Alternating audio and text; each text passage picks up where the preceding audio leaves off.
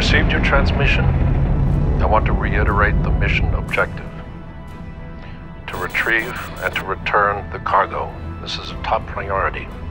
Everything else is secondary. I repeat, everything else is secondary. Thank you, and good luck.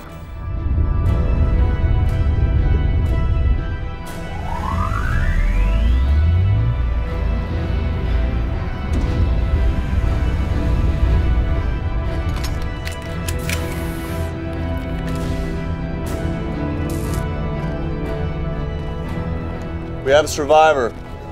PTSD, depression, depersonalization disorder. Where is the cargo?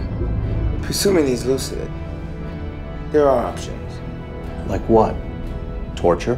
What did the compound do? Tell me! Before long, you will all irreversibly be losing your minds.